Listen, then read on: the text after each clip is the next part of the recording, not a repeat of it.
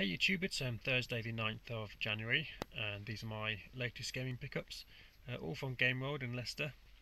Uh, the first one's for the Game Boy Color and it's called uh, Towers Lord Baniff's Deceit. Uh, this was 3 99 uh, just the carton instruction booklet.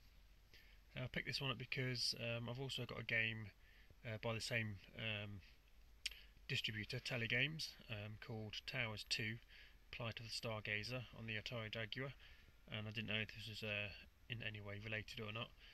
Um, so I picked it up just to see.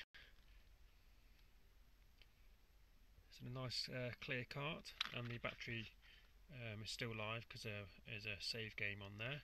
If you know how to uh, delete a save game on this cart or any particular Game Boy game colour game uh, in particular, let me know. Uh, I'd like to delete the game that's currently on there. And we've got uh, just Dreamcast games now. Uh, the first one's Power Stone, that's by Capcom and Eidos Interactive.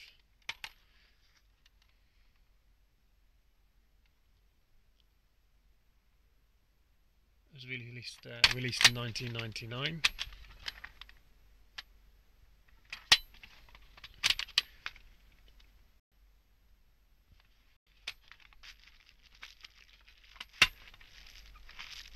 Think that was about seven or eight pound Power Stone. Um, Marvel vs. Capcom 2. Uh, this was 1999.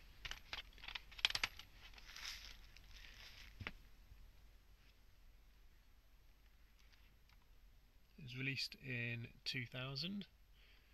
Uh, obviously licensed by Marvel Comics.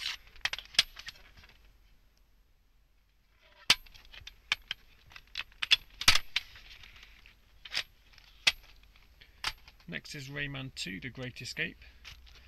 And this is by Ubisoft. And it's a one player game that was released in 2000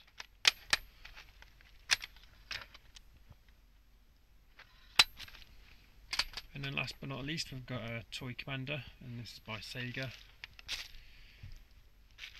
And this is a 1 to 4 player game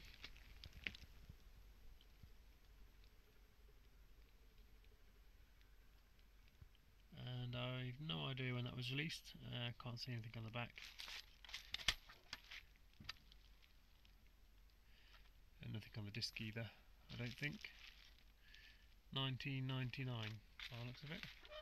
So yeah, that's it. Uh, thanks for watching. Leave your comments below. I'll see you soon.